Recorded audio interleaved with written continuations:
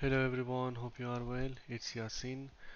I'm going to share with you my latest trade on S&P 500. The date of trade was 16th of June. So let's begin. At the left side of the chart, downside, you can see our macro channel is downtrend, and at the top left, you can see our sideways channel is broken towards down.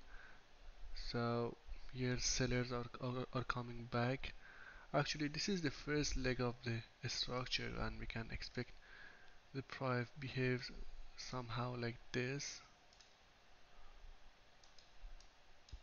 But we cannot 100% talk about it.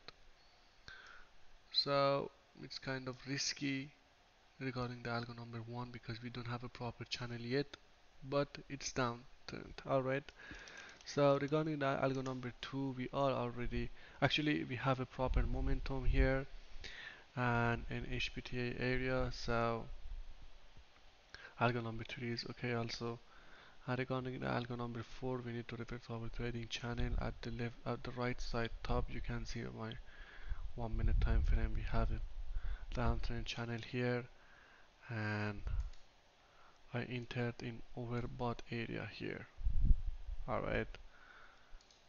And so algo number 4 is okay with a proper risk reward. So I used 500 tick for better entry. I entered here. I set my stop loss here and my target was here. So as you can see the target was touched and that's it. This trade was taken as per the PAAT system. Hope you enjoy it. See you in the next one